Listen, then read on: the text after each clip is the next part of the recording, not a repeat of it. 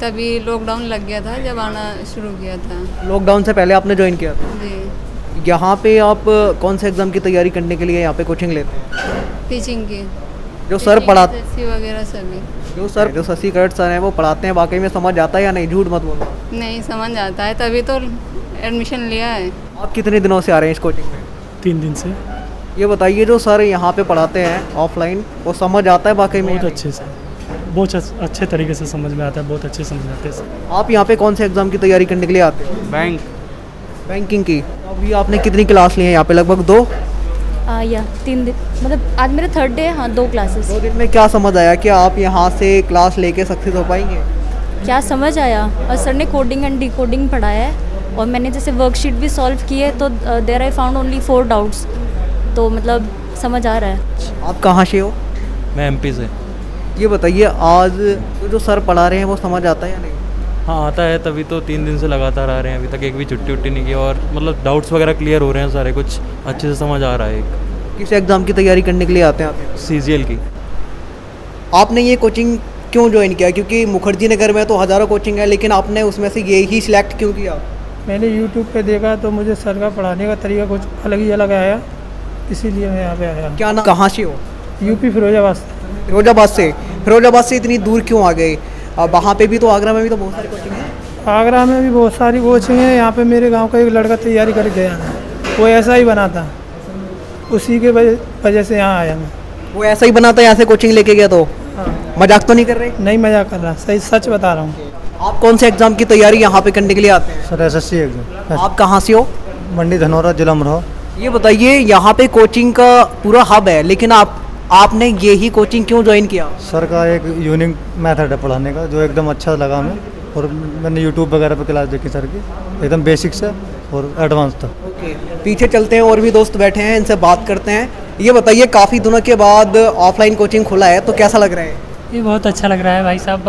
ये समझ लीजिए कि एक तरह से इमोशनल अटैच करके पढ़ाई कर रहे हैं। वैसे नहीं तो यूट्यूब से देख कर सो जाते थे रख देते थे।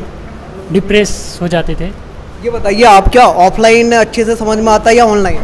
ऑफलाइन। ऑफलाइन क्यों अच्छे से समझ में आता है? रीजन बताइए। डायरेक्टली मतलब जो इमोशनल जो होता है टीचर का और स्टूडेंट का मतलब डायरेक्ट जो बात करने का वो होता है डायरेक्टली बात होता है। अगर कोई भी हमें प्रॉब्लम्स है तो डायरेक्ट सॉल्यूशन मिलता है। ऑनलाइन में से हम नेट से डालते हैं कभी पहुँचता है कभी नहीं भी पहुँचता है उसका कुछ सॉल्यूशन मिल पाता है नहीं भी मिल पाता है। आप कहाँ से हो? मैं अलीगढ़ से हूँ यूपी से। कौन से एग्ज़ाम की तैयारी करने के लिए आपने ये कोचिंग ज्वाइन किया था एच डी एजुकॉम मैंने सीजीएल के लिए किया था और यू कितने दिन हो गए आपको यहाँ पे? मैं ये लॉकडाउन से पहले आया था। मैंने सारे और जो कोचिंगों में पढ़ के देखा उससे ज़्यादा मुझे बेस्ट शशि करना लगा। आपसे भी यही जानना चाहेंगे ऑफलाइन कोचिंग काफ़ी दिनों के बाद खुले हैं तो कैसा लग रहा है? अच्छा लग रहा है। ऑनलाइन पढ़ना सही है या फिर ऑफलाइन और है तो क्यों? ऑफलाइन पढ़ना सही क्योंकि आप टीम में रहते हो और किसी भी टॉपिक पे आपको दिक्कत होती है तो इजीली कन्वर्सेशन में आपको ना बहुत अच्छे से समझ में आ जाती है। लेकिन बहुत सारे लोग तो ये कहते हैं अगर हम ऑनलाइन पढ़ेंगे तो हमारा पैसा बच जाएगा वहाँ पे रहने का किराया और मोटी फ़ीस बच जाएगी। ये ना मन का बहम है। मन का बहम है। ओके आप कौन से एग्ज़ाम की तैयारी करते हैं? मैं यू यूपीएससी भी देता हूँ और सी भी। ओके दोस्तों ये हमारे देश का भविष्य है आने वाले टाइम में और ये मजाकबाजी तो होता नहीं है मुखर्जी नगर में आके संघर्ष करना हर किसी के बस की बात तो है नहीं काफ़ी संघर्ष यहाँ करना पड़ता है। कुछ लोग सोचते हैं यार नहीं ऐसे ही मज़े में जाते और हो जाती है। ऐसा ही होता है क्या? नहीं इतना आसान भी नहीं है। आप आप कहाँ से हो? मैं यूपी से हाथरस डिस्ट्रिक्ट से हूँ। ये बताइए हाथरस से इतनी दूर क्यों आना पड़ा मुखर्जी नगर? क्योंकि पढ़ाई का संस्थान यहीं पर है। जिस तरीके जो, जो मैं प्रिपरेशन करना चाह रहा हूँ वो इस यहाँ पे बेटर है। कौन से एग्ज़ाम के लिए आप तैयारी कर रहे हैं? बैंकिंग है यूपीएसआई तो आज जो सर ने क्लास ली है इसमें आपको कुछ समझ आया? मुझे पूरा पूरा समझ आया। यहाँ पे सौ परसेंट एक्यूरेसी रहती है। आपने कोचिंग कब ज्वाइन किया था? मैंने ज्वाइन किया था पिछले लॉकडाउन में ज्वाइन किया था तब क्लासें बंद हो गई थी तो मेरा कोर्स नहीं हो पाया है। अभी स्टार्ट हुई हैं तो मैं ज्वाइन कर ली है मैंने बैच आपका क्या नाम है? कुलदीप यादव। आप कहाँ से हो? एटा उत्तर प्रदेश। ये यादव यादव का गढ़ बना रखा है क्या? जी बिल्कुल पड़ोसी लोग हैं।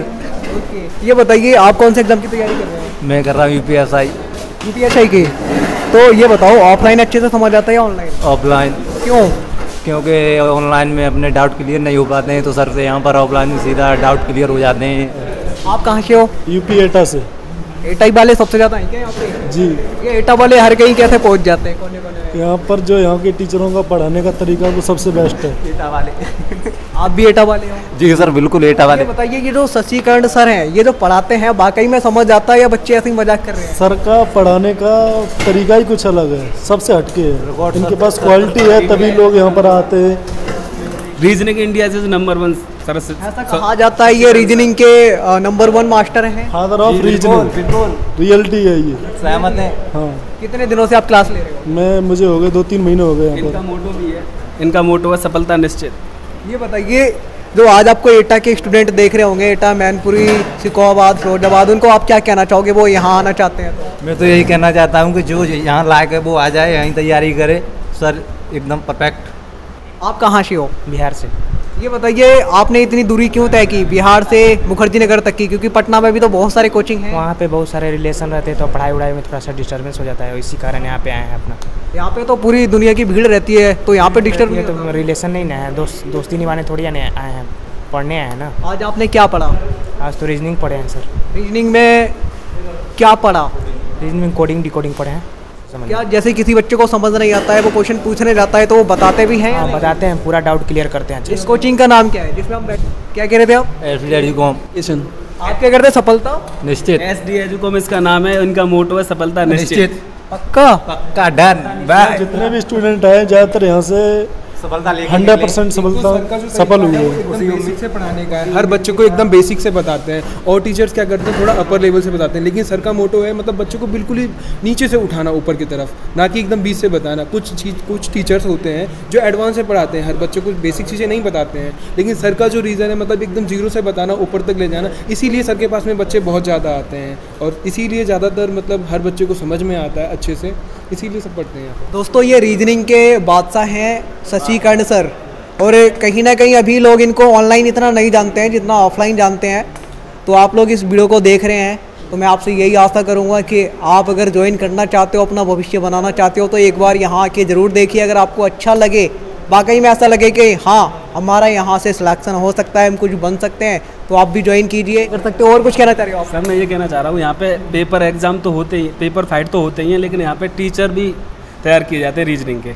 आप पढ़ा भी सकते हो कहीं पे। ये इतने दिनों से था जिसका मैं इंतज़ार वो घड़ी बिल्कुल पास आ गई ऑफलाइन कोचिंग खुल गई है तो आप क्या कहना चाहेंगे? कहाँ जा रहे हैं? आप इधर आ जाइए ऑफलाइन काफ़ी दिनों के बाद कोचिंग खुली है तो कैसा फील हो रहा है? बहुत अच्छा फील हो रहा है। बेस्ट मोमेंट है स्टूडेंट को तैयारी करने के लिए ऑफलाइन आप कहाँ से हो? पानीपत से।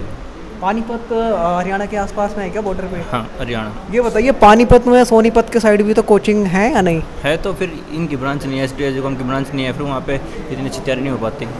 आपने ये कोचिंग ही क्यों चुना? मैं बहुत सारे बच्चों से पूछ चुका हूँ क्योंकि यहाँ तो कोचिंग बहुत सारे हैं। है तो बहुत सारे फिर सर जैसा कोई पढ़ाने वाला तो है नहीं। पक्का? पक्का। आपको कैसे पता? हमको पता है हमारे भाई पढ़े हैं दोस्त पढ़ते हैं उनको बताया है तो इसलिए पता चलता है। पानीपत वालों को आज कुछ कहना चाहोगे? वो देख रहे होंगे ध्यान से। कहना चाहेंगे कि आप भी आओ तैयारी करो और अपनी सफलता निश्चित करो। एटा मैनपुरी वाले और कुछ कह रहे हैं क्या? बता दो अगर कह रहे हैं तो। यादव यादव का गढ़ बना लिया आपने तो पूरा यहाँ पे।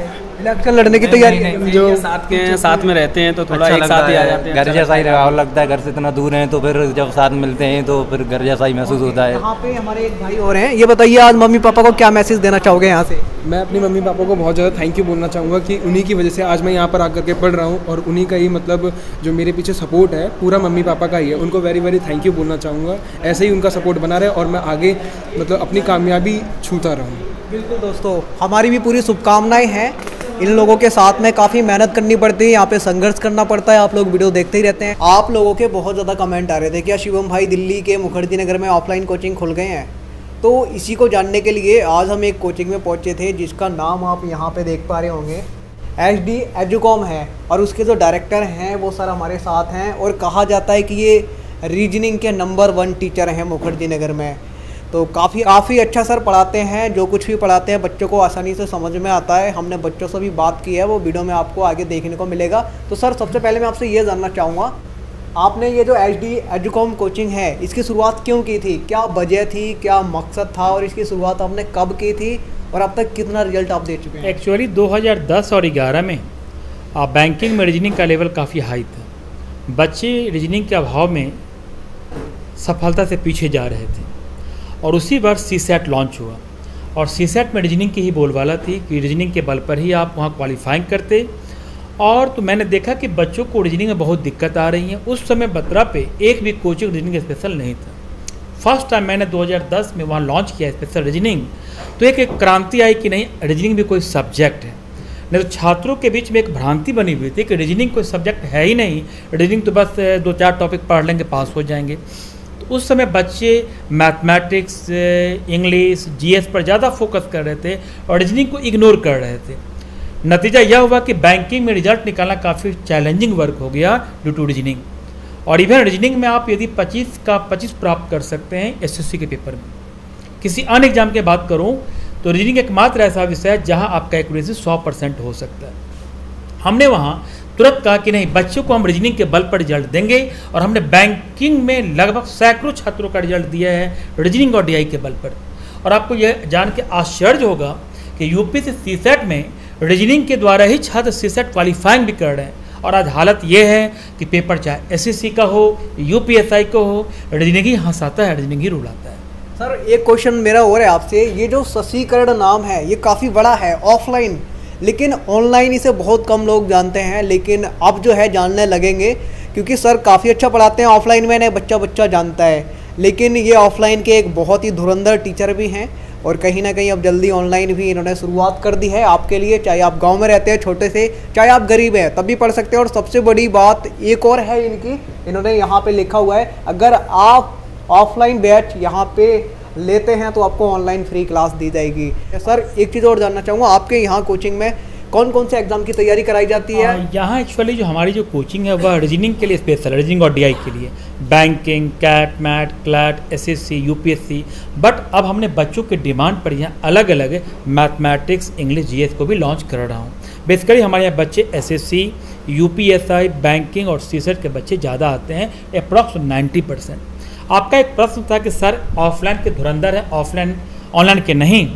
मैं बताऊँगा कि आपने बहुत सही कहा, क्योंकि मैंने ऑनलाइन चैनल की शुरुआत 2017 में किया। बट मैं ऑफलाइन में इतना बिज़ी हो गया कि मैं तीन साल ध्यान दिया ही नहीं। समय की डिमांड आई कोविड आ गया तो मैं मजबूरी बस इसमें ढालना पड़ा। और मैं आपको बता दूँ कि इसको चैलेंजिंग को एक्सेप्ट करने के लिए हमें बहुत परिश्रम करना पड़ा।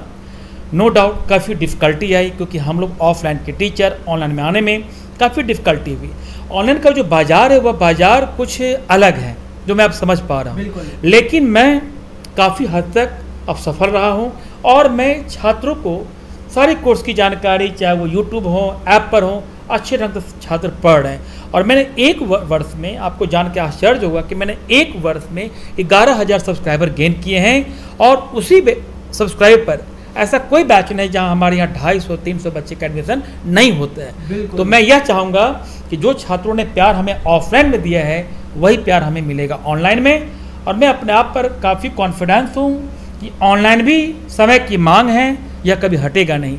तो कुछ दिनों के बाद जो आपने कहा नंबर वन ऑफलाइन के समान मैं ऑनलाइन भी हो जाऊँ सर ये जो आपके कोचिंग का नाम है एच डी एजुकॉम सफलता निश्चित ये टैगलाइन वाकई में होता है क्योंकि बच्चे भी कह रहे थे सफलता निश्चित तो ये क्यों है? आपको मैं बता दूँ कि यहाँ एस का फुल फॉर्म है success definitely success definitely S for सफलता सक्सेस और डी फॉर डेफिनेटली निश्चित.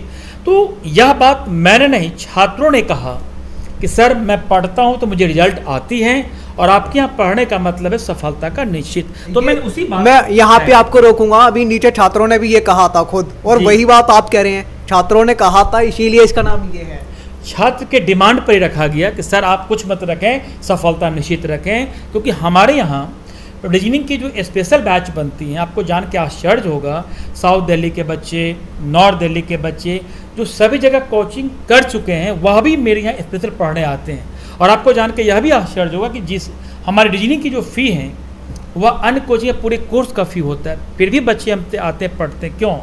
क्योंकि यहाँ मैं बच्चों को रीजनिंग और डीआई में एक आप कह सकते हैं कि मैं स्पेशलाइजेशन देता हूँ। कि यहाँ पढ़ने के बाद वो किसी भी एग्ज़ाम में जाएँगे उनकी मुस्कुराहट बनी होती है। सर एक चीज़ और मैं जानना चाहूँगा जब आप ऑनलाइन पढ़ाते हैं तो जो आपके यूट्यूब चैनल है उसका नाम क्या है?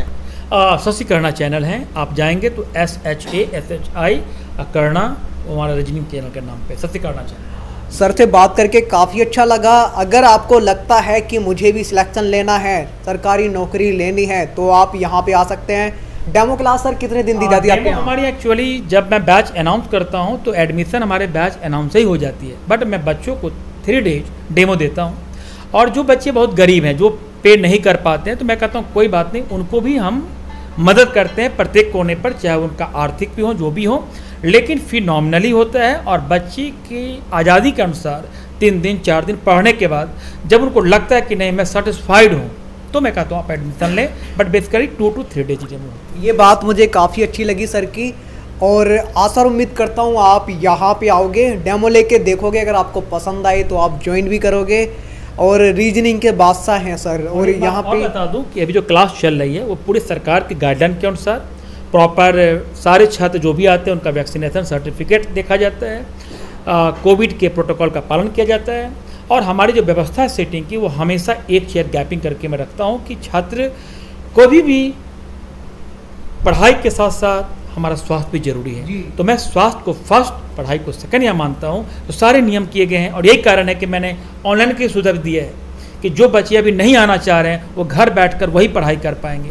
और आपको जान के आश्चर्य होगा शिवम जी कि हमारे छात्र का नारा है कि ऑफलाइन का माहौल ऑनलाइन में कि मैं पढ़ाने का तरीका ऑनलाइन में एज इट ऑफलाइन के समान होगा। शायद आप भी कुछ देर बैठे हमारे क्लास में तो आपको भी अच्छा लगा होगा। बिल्कुल वो तो आपकी रिस्पेक्ट करते हैं क्योंकि आपने सिलेक्शन दिए हैं लोगों को। नौकरियाँ दिलाई हैं वो लोग आपको दुआएँ देते हैं वो लोगों का प्यार है आपके लिए तो ये मुझे भी काफ़ी अच्छा आज लगा। आज मैंने भी पढ़ के देखा था सर की क्लास में मैं भी बैठा था तो मैंने देखा हाँ सर कैसा पढ़ाते हैं। तो आज की वीडियो में इतना ही। जय हिंद, वंदे मातरम। हम आज थे सर के कोचिंग में एच डी में, जो कि मुखर्जी नगर में ही है।